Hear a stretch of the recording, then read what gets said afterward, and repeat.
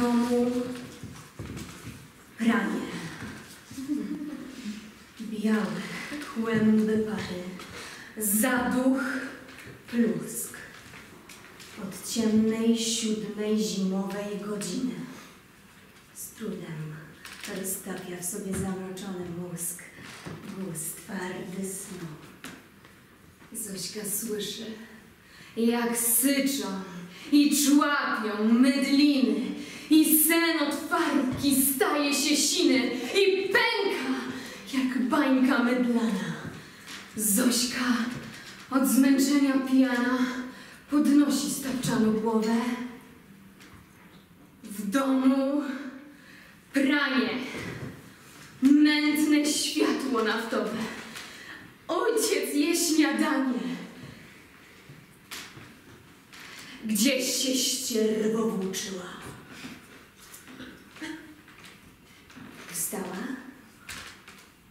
Kieckę włożyła, pod kranem się umyła i do miski, do łyżki. Żreć to umiesz! Gdzieś się włóczyła, ścierwo!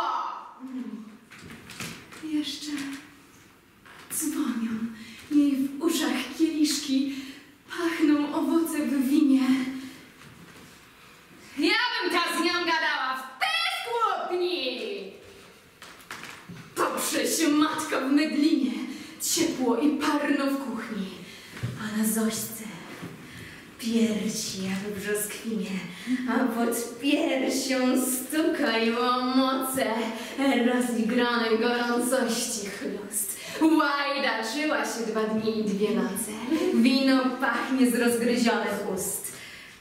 Trochę łokieć jeszcze Zośkę boli, bo się hukła o kanapę pluszową. To cholera, ten spocony frant. Mów, psia twoja!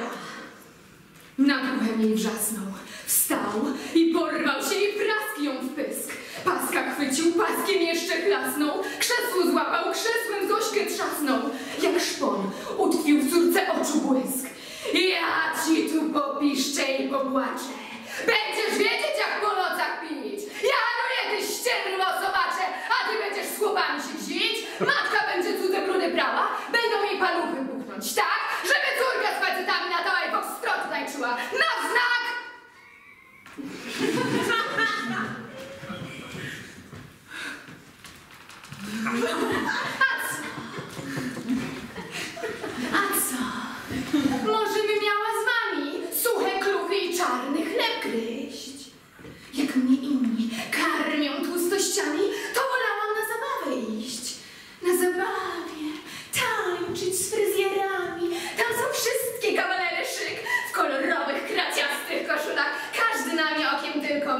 A król jej, Felek, ze mną hulał. Tłusty, pulchny, a pachnie jak róża.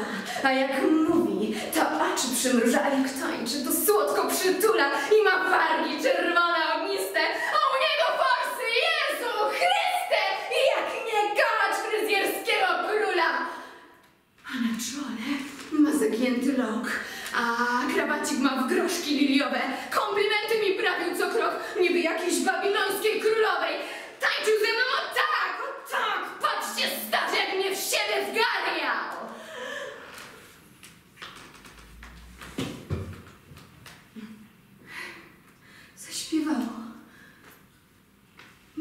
Mi serce jak ptak.